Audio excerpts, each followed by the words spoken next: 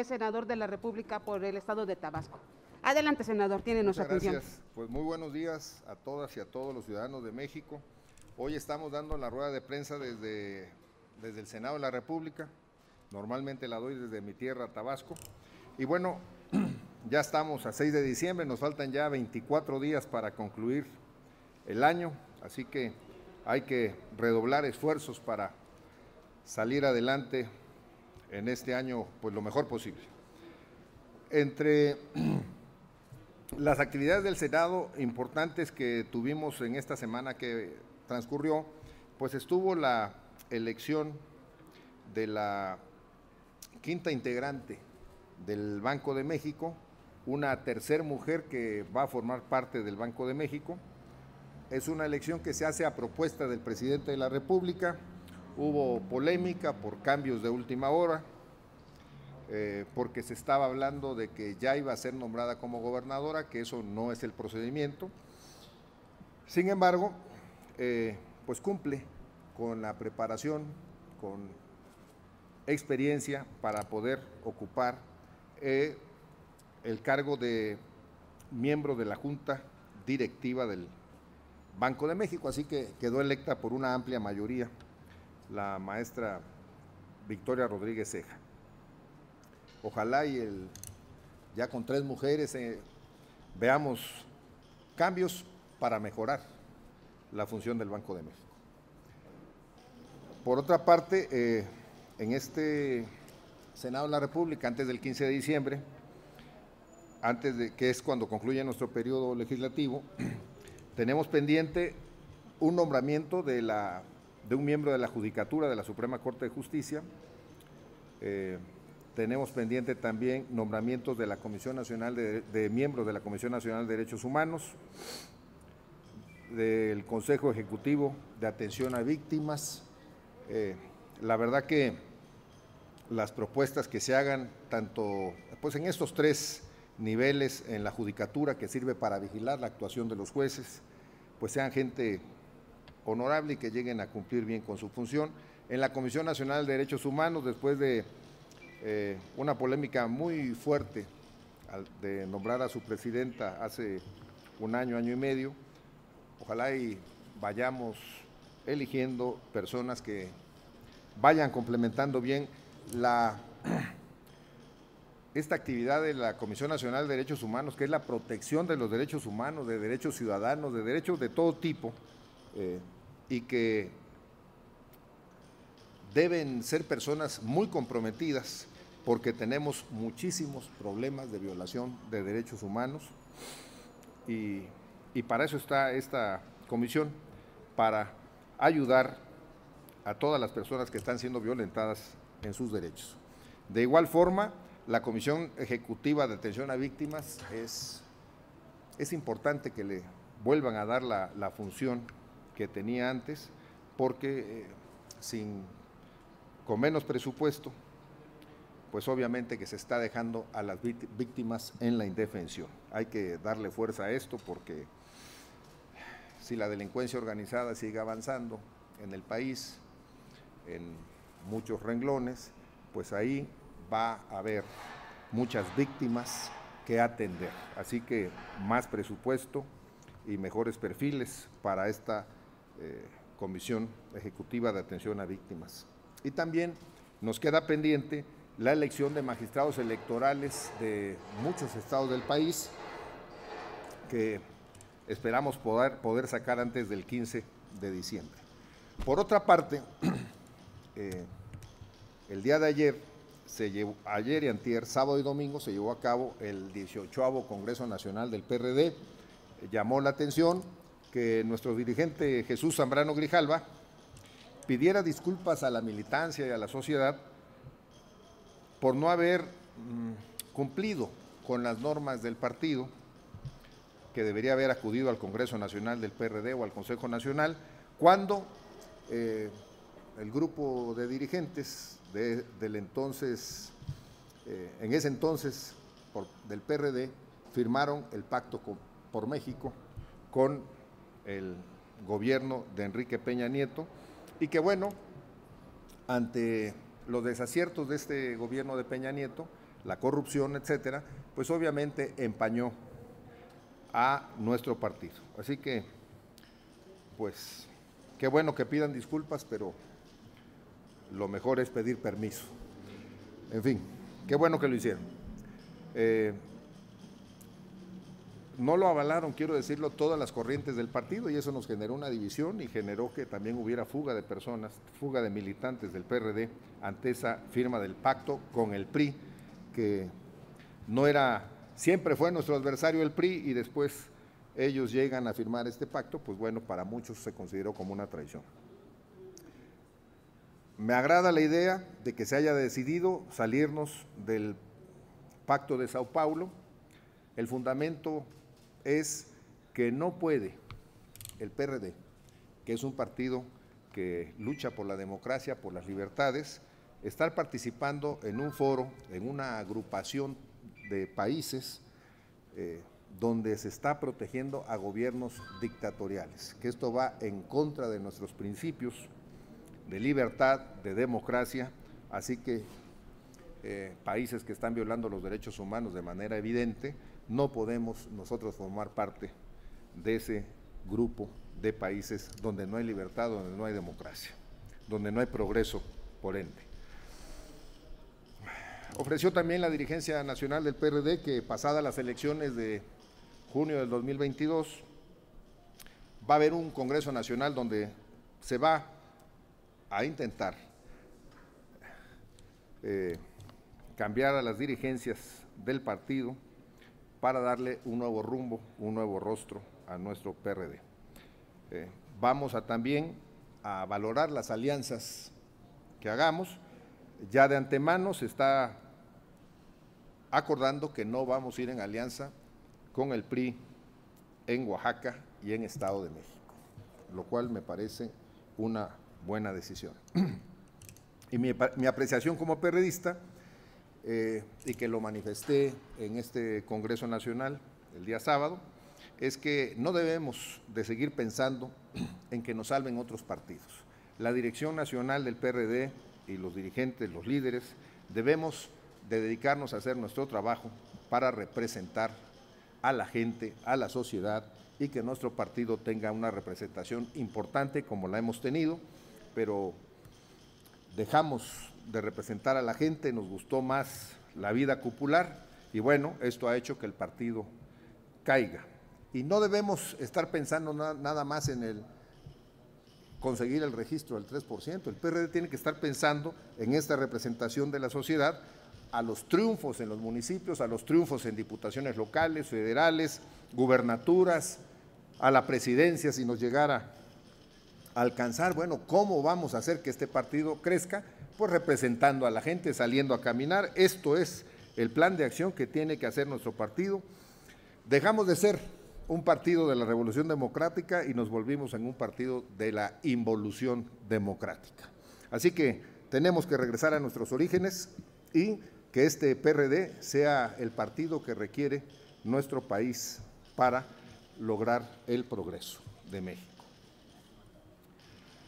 Yo quiero invitar a la militancia, a que mantengan la fe, que mantengan su convicción y a nuestra sociedad a tomar al PRD como instrumento del cambio y prosperidad que nuestra nación requiere. Ese debe ser el sentido de nuestro partido, así que abierto el partido a que participe nuestra sociedad. Y bueno, un tema de carácter nacional que me parece de lo más trascendente, empezaron a salir los trapitos al sol en el gobierno de la Cuarta Transformación, Hoy, en portadas de dos diarios nacionales de eh, objetivos, en uno sacan a relucir propiedades que el ex director de la UIF o comisionado de la UIF, no, recuerdo cuál es el nombramiento específico, Santiago Nieto, en los 25 meses de su encargo, eh, se hizo de cuatro propiedades un auto de lujo con un valor de 40 millones de pesos, cuando máximo en 25 meses pudo haber ganado 2 millones y medio de pesos de sueldo neto. Así que él argumenta que es con créditos que lo está financiando, la verdad es que es difícil con un sueldo de 100 mil pesos que le puedan dar un crédito de 40 millones de pesos. Y por otra parte, eh, y ahora imagínense que ya no está en la UIF y según las leyes que se aprobaron por parte de la mayoría morenista desde inicios del gobierno, quien trabaja en el gobierno 10 años más no puede trabajar en el gobierno, bueno, pues a ver ahora cómo paga los créditos este señor. Ya lo metieron en problemas. Y por otra parte, sale también en otro diario el fiscal general de la República, Gers Manero, al cual se le atribuye la compra de 122 autos de lujo, transferencias millonarias a otros países, y es un patrimonio que ha acumulado del 2013 hacia estas fechas, así que eh, también queda, queda en entredicho que los que cuidan de la sociedad mexicana contra la corrupción, como fue el caso de Santiago Nieto, se, esté, se haya aprovechado del cargo y en el caso del fiscal, pues que tenga un patrimonio tan elevado. Así que eh, quien debe cuidar los delitos graves en el país, como es el fiscal, que esté dedicado a acumular fortuna y también con sueldos moderados, pues tampoco se entiende cómo es que tienen tanto dinero. Me recuerda también a la exfuncionaria del gobierno, Heréndira Sandoval, que junto con su esposo Hackerman, que es ideólogo, ideólogo y capacitador del partido Morena, también fueron eh, señalados por comprar varias propiedades de varios millones de pesos todas compradas en efectivo. Así que es lamentable que los que hablan de la lucha contra la corrupción en sus narices les están pasando la rata por los ojos. y en Tabasco, en Tabasco, como muchos se habrán enterado, hubo una persona que hizo un documental sobre cuestiones de la justicia mexicana, cayó en Macuspana, Tabasco, casualmente, y bueno, se hizo un documental que está circulando en una empresa de películas nacional, se llama Duda Razonable y evidencia la actuación dolosa de fiscales, de policías, de jueces, y que tienen en la cárcel a personas a las cuales no se les pudo comprobar su culpabilidad.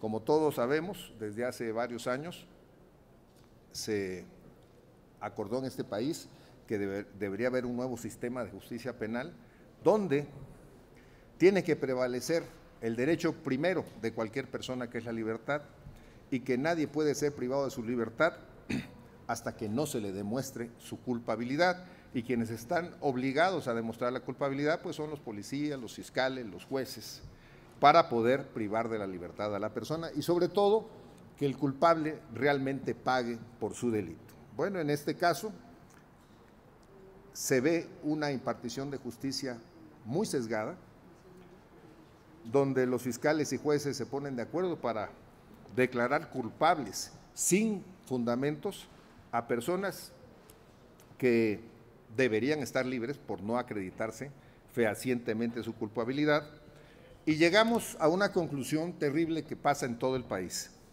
Inocentes en la cárcel y los delincuentes en la calle.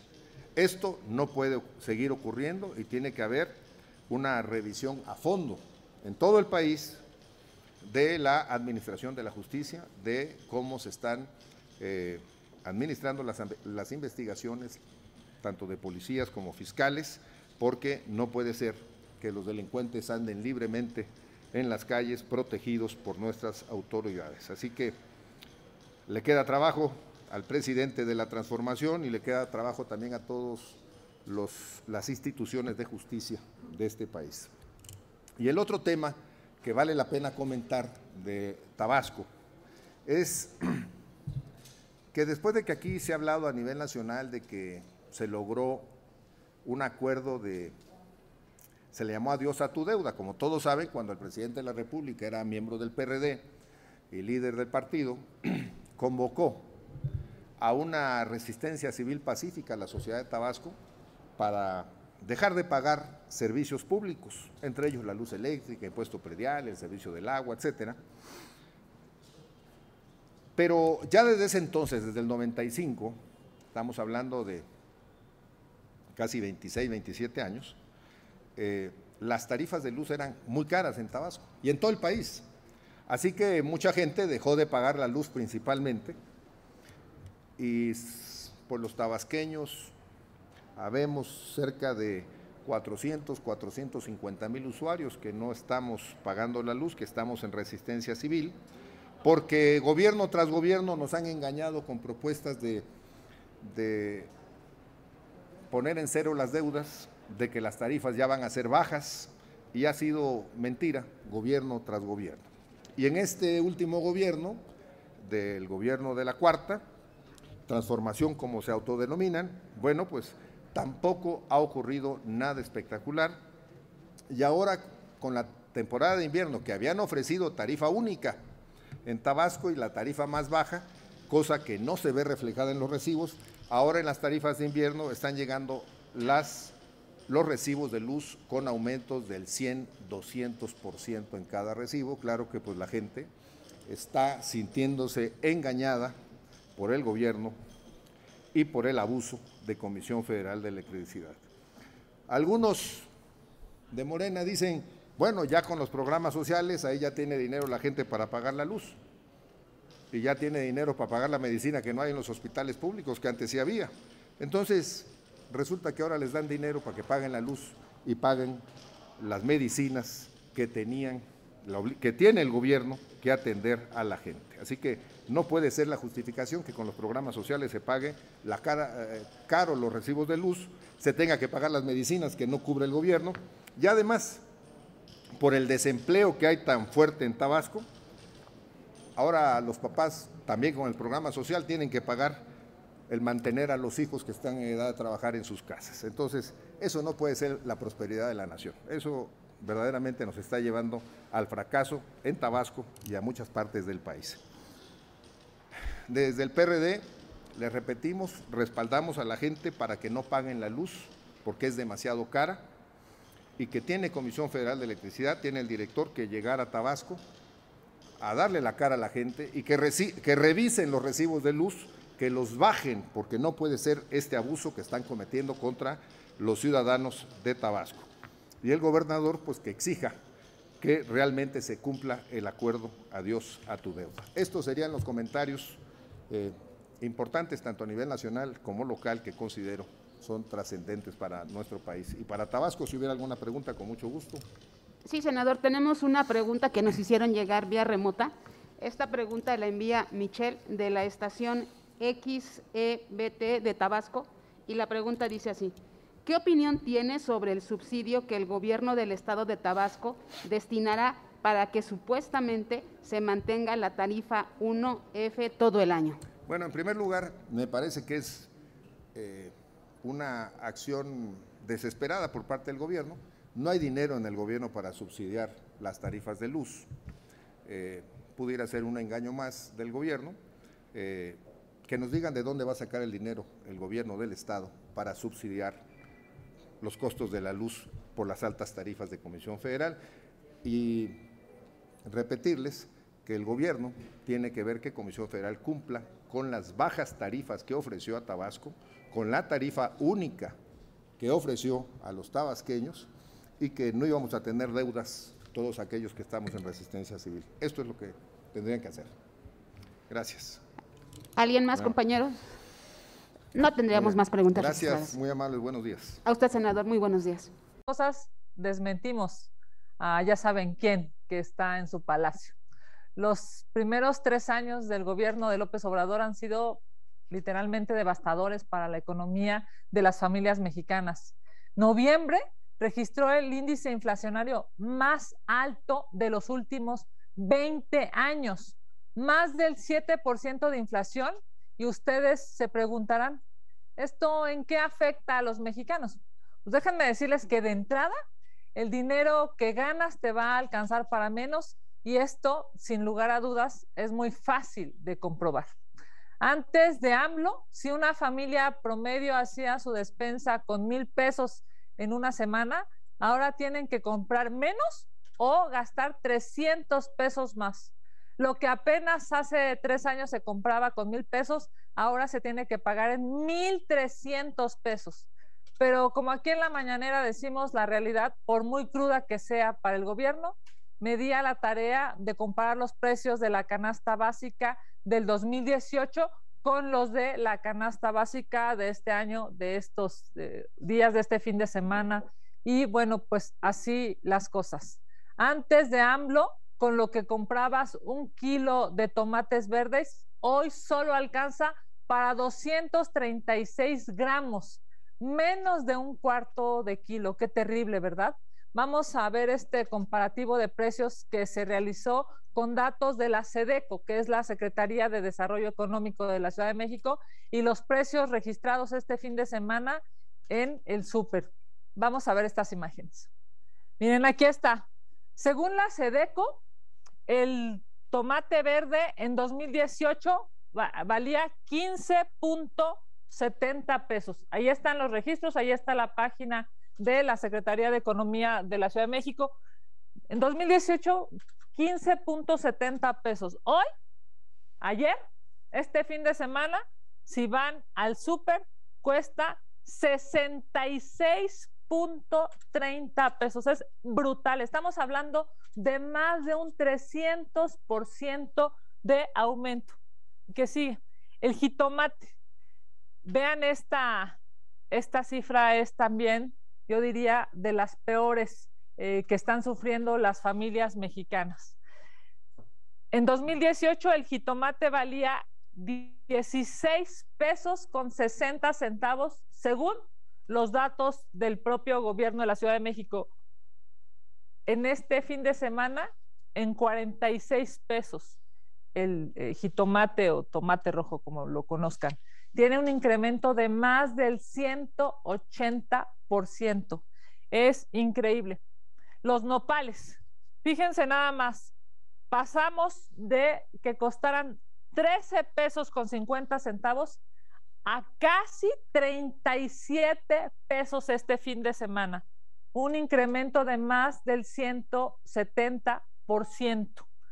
La cebolla blanca valía cuando llegó este gobierno de López Obrador, el que llegó diciendo que primero los pobres, fíjense el, golpazo a la economía de la gente que menos recursos tiene. En 2018 valía 15 pesos con 60 centavos la cebolla. Hoy vale más de 36 pesos, un incremento de más del 135%. La papa, ¿no? que tanto se necesita, tanto se consume, Empezó con este gobierno valiendo 16 pesos, hoy vale 26 pesos, casi 27 pesos. Sin duda, este es un tema, digamos, de lo más complicado. La materia prima con lo que se cocina en los hogares de México, sin duda, han sufrido un incremento brutal. Hacer unos chilaquiles, unos chilaquiles verdes o un arroz rojo, se ha vuelto un lujo para los mexicanos debido a los altos precios. A eso, claro, hay que adicionarle el gas.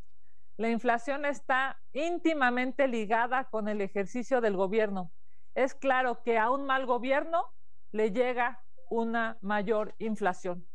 Las decisiones de López Obrador cuestan vidas y además están afectando el bolsillo de los mexicanos. Este gobierno ha registrado mes con mes un incremento sobre la inflación, tal como se puede apreciar en la siguiente gráfica realizada con base en los datos publicados por Banjico y el INEGI. Esta es una gráfica elaborada en mi oficina que les repartiremos, por supuesto, eh, con datos, les comento, de Banjico y del INEGI. Pero es terrible. Vean cómo ha tenido una alza lastimosa hasta pasar de los siete puntos el nivel de inflación en este país. Como se puede ver, el cierre de este año se torna desalentador para las familias mexicanas y cada día se ve más lejano que un mexicano pueda cumplir su sueño de comprarse una casa, de adquirir un coche o simple y sencillamente de irse de vacaciones. El gobierno de la 4T ha destruido los anhelos de los mexicanos y ha generado casi cuatro millones de nuevos pobres. Lamentable, lamentable este cierre de año. Vamos a sus preguntas. Senadora, muchas gracias. La primera pregunta que tenemos registrada es de Víctor Gamboa. Le pregunta su opinión sobre la investigación que realiza la Unidad de Inteligencia Financiera al fiscal Alejandro Hertz Manero por las transferencias millonarias que ha realizado y la compra de 122 vehículos de lujo. ¿Insistirá el PAN en que comparezca Hertz Manero ante el Senado por su polémico desempeño al frente de la Fiscalía? Es evidente que Morena sigue en su cerrazón de que haya transparencia, de que haya rendición de cuentas, de que haya un contrapeso aquí en el Poder Legislativo. Se ha solicitado la asistencia del fiscal no solamente por el Partido Acción Nacional, sino por otros grupos parlamentarios. Es evidente que necesita el fiscal a venir al Senado de la República, dar su posición explicar lo que está pasando, incluso, incluso defender su verdad. Me parece que eh, hoy ante tantas señal, tantos señalamientos, tantas eh, discrepancias en términos de, eh, pues, en términos fiscales, parece ser que hay una discrepancia fiscal a propósito de varios patrimonios hoy en el gobierno federal. Me parece que es, una, es un reto para el grupo mayoritario. Es un reto que deben de afrontar, que vengan los servidores públicos de Morena, que vengan los servidores públicos eh, que tienen la posibilidad de incluso eh, fijar una posición, debiera ser una prioridad. Lo hemos pedido, llevamos meses pidiéndolo, varios grupos parlamentarios, y pareciera que aquí los legisladores de Morena están obsesionados por tratar de tapar el sol con un dedo ojalá y haya sensatez, ojalá y pueda venir a comparecer y ojalá y haya una, eh, pues, digamos, una representación de los distintos grupos parlamentarios para poder preguntar y para que haya eso que se necesita tanto en el legislativo, que son contrapesos. Gracias, senadora. Eh, Mayolo López le pregunta su opinión sobre las propiedades de Santiago Nieto en 25 meses, 40 millones de pesos. Me parece que es, eh, un, es la misma lógica en términos de gobierno. Todos están obligados pues a demostrar que su evolución patrimonial eh, es, pues digamos, es lógica y es congruente. Si ganas 100 pesos, pues tienes que gastar 100 pesos, ¿no? Si ganas 100 pesos no, no puedes gastar 100 mil.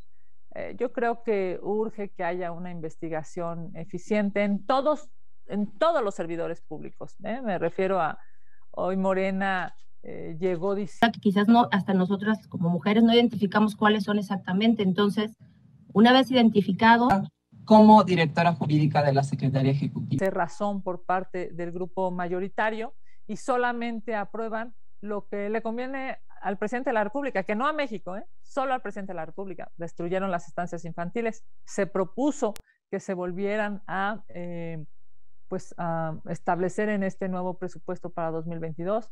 Tampoco quisieron. Es claro, pues, que hay hoy un Congreso subordinado al presidente de la República en detrimento de los mexicanos. Gracias, senadora. Gerardo Segura nos hace tres preguntas, se las hago una por una. ¿Qué opina de la situación en el CIDE que se insiste en mantener a capricho a un director a modo? ¿Debe comparecer la titular de CONACIT ante el Senado por estos hechos? Bueno, eh, esta pregunta va muy hilada a la anterior. Hemos pedido que venga a comparecer la titular del CONACID. Hemos pedido que venga a responder porque hay un desorden brutal en el CONACID y simple y sencillamente Morena no lo acepta. Y bueno, el CIDE, ¿no? que organizacionalmente depende, eh, tiene eh, una relación administrativa eh, con el CONACID, hoy se encuentra también en un caos. Es, es lastimoso ver cómo este gobierno pareciera que está en contra de la inteligencia, en contra de la investigación, en contra del desarrollo tecnológico, en contra del desarrollo intelectual, porque bueno, pues por supuesto que lo que más les conviene es tener a eh, los mexicanos en el oscurantismo, ¿no? Pareciera que este gobierno no quiere que haya profesionistas inteligentes, capaces, echados para adelante, que puedan resolver los problemas de este país, ¿no? Lo que el presidente le gusta es simple y sencillamente eh, aquel aplaudidor que no eh, cuestiona, que no se pregunta por qué las cosas no pueden ser mejor. Al presidente lo que le gusta, ya lo vimos, es que le vayan a aplaudir al zócalo de manera, eh, digamos, más, más por, por fe, más por este, carisma que por inteligencia. Y este gobierno está peleado con la inteligencia. Bueno, está peleado incluso los propios eh, servidores públicos que están en el gobierno, pareciera que muchos están peleados con la inteligencia. Gracias, senadora. También Gerardo Segura le pregunta, López Obrador insiste en responsabilizar de la crisis a sus adversarios, pero no los ha tomado en cuenta para nada, pero no ha tomado en cuenta para nada la oposición. Al parecer, él es el único, es el único responsable de la crisis económica e inflación que se registra en el país. ¿Qué opina al respecto? No, sin duda, este gobierno es el responsable de la crisis económica, es responsable de la inflación y de los brutales precios que hoy se están viviendo lastimosamente en nuestro país. Es el gobierno de López Obrador responsable de que la gente no pueda abastecerse de comida en los mercados porque simple y sencillamente ya no alcanza. Todo está brutalmente caro. Claro que es este gobierno responsable como es responsable de los 100 mil asesinatos, como es responsable de los 25 mil desaparecidos, como es responsable de las más de 900 mil muertes por COVID o por exceso de muerte. López Obrador es responsable de todo eso. Gracias, senadora. Final, eh, perdón, eh, Gerardo Segura también le pregunta, ¿Gertz Manero debe renunciar por los señalamientos en su contra? Pues yo diría, lo primero es que debería de venir al Senado de la República. Debería de venir a una, pues digamos, a un, una comparecencia, a una escucha. cuando nosotros establecimos la Fiscalía Autónoma, recuerdan, ¿no? Eh, votamos, votamos por él, votamos por una Fiscalía Autónoma independiente que diera resultados y México lo necesita. Ojalá que haya sensatez por parte del gobierno, por parte de los legisladores y ojalá esté aquí en el Senado de la República escuchando a la oposición y dando respuestas. Gracias, senadora. Finalmente, eh, el mismo Gerardo Segura le pregunta, López Obrador dice que ha beneficiado a la clase media, pues frenó, a los, pues frenó los gasolinazos, algo que no ha sucedido, porque sigue el incremento en la gasolina, pero además miente porque siempre dijo en la campaña que bajaría el precio de la gasolina y simplemente fue un engaño. ¿Qué opina usted? Sin duda, el presidente de la República miente, miente por sistema, miente por costumbre, miente casi por dogma. Es impresionante la manera de mentir. Se ha viralizado, lo subí a mis redes sociales, un video en donde antes de ser presidente de la República decía que los datos del INEGI no eran verdaderos. Es evidente que los datos que no le convienen no son verdaderos, pero la realidad es que aunque haya 88 mentiras por mañanera, eso dicen los eh, datos de, la, medición de esta empresa que lo hace día con día, aunque haya 88 o 90 eh, mentiras por mañanera o eh, aseveraciones no comprobables, pues de todas maneras la realidad lo está alcanzando. Está alcanzando una realidad muy lastimosa que está destruyendo a México, que está generando pobreza, que está generando eh, muerte, que está generando a miles de familias en luto en este país. Nos estamos acercando nuevamente al invierno, nos estamos acercando a, eh, pues a una nueva ola en el COVID y este gobierno irresponsable sigue, por ejemplo, sin pedir pruebas para las personas que llegan eh, por vía aérea o vía terrestre a nuestro país. poniéndonos en riesgo a todos los mexicanos. En muchos países cuando llegan eh, extranjeros o cuando llegan visitantes a esos países, los obligan a presentar una prueba en donde demuestren que no están contagiados de COVID. Aquí en México, el gobierno irresponsable sigue sin pedir una prueba eh, anti-COVID, una prueba de que no tienes COVID, y eso es terrible. El populismo mata y este eh, gobierno es absolutamente populista. Gracias. Y finalmente, Magali Juárez le pregunta de lo que tengo registrado, senadora. Eh, López Obrador, perdón, dice Magali, la Cancillería debe a conocer que a partir de hoy inicia el programa Quédate en México para que los solicitantes de asilo en Estados Unidos esperen su proceso en territorio nacional. ¿Es adecuado este programa? ¿México tiene la capacidad para atender esta situación? Bueno, eh, me parece que lo más importante para los migrantes que están transitando por nuestro país y que eh, aspiran a llegar a Estados Unidos, lo más importante como gobierno es que se les respeten sus derechos humanos. Nadie en el planeta se despierta un día queriendo dejar su casa, su comida, su clima, su familia, sus amigos por ganas. Todos lo hacen por una necesidad, una necesidad económica, una necesidad de estabilidad, eh, eh, digamos, personal o familiar. Así es que para todos aquellos que tienen que transitar en nuestro país, para todos aquellos que, eh, que tienen la necesidad de emigrar, lo más justo, lo más ético, digamos, yo diría lo más honorable es que los gobiernos de los países por los que tienen que transitar protejan sus derechos humanos. No más mujeres golpeadas, no más niños golpeados, no más eh, hombres adultos mayores golpeados. Este gobierno tiene que responsabilizarse de la trascendencia de proteger los derechos humanos de los migrantes, porque lo que pedimos en Estados Unidos para los mexicanos es lo mismo que los mexicanos debemos dar para cualquier migrante en este país. Senadora, pues no tenemos más preguntas registradas. Agradecerle su tiempo, agradecerle a las compañeras y compañeros de la fuente y les estaremos enviando los materiales en el transcurso de la mañana.